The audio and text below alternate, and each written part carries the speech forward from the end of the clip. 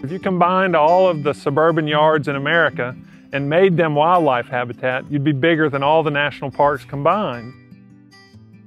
That most of our urban areas and suburban areas, about 80% of the plant material that's in the ground is not native.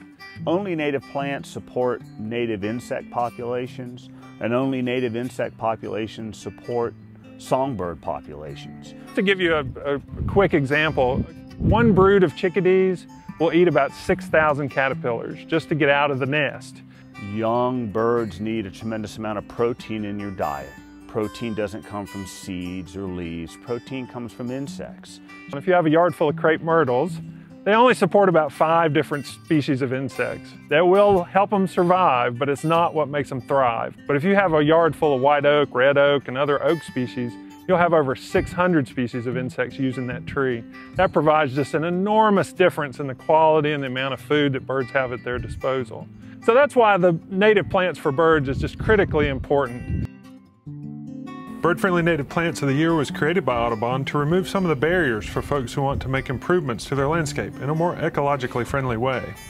For a lot of people like me, this will be my first time having my very own backyard. Um, it's great to have people who are knowledgeable, who help put things to the side so you don't have to go in kind of with trepidation about what it is you're looking for, what you should buy. And then there are always people who are friendly who know the area really well because they're uh, with local nurseries, so they know what grows well here and can even give you tips uh, as you start to plant your garden.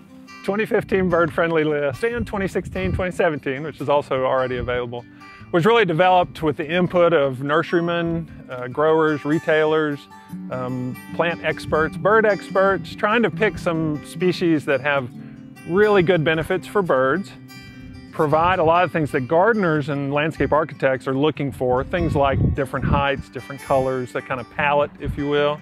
To really make something that's beautiful, um, so you don't have to feel like you're lost and just going outside of your regular roses or things that you might see. Um, you can have things that are beautiful and having a list that promotes those things makes it really easy for people who are just getting into it to find and understand.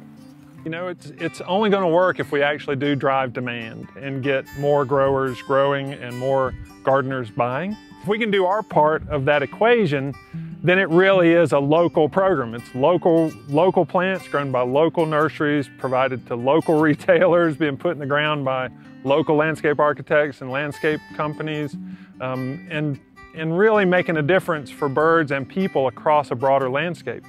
It's really, really, I think, a wonderful thing to be able to have a welcome home symbol in a garden of native plants that tell birds, butterflies, other pollinators that this is where you should be, this is where you belong.